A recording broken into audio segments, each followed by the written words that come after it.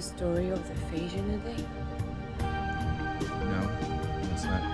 It's a bird that experiences all of time in instant.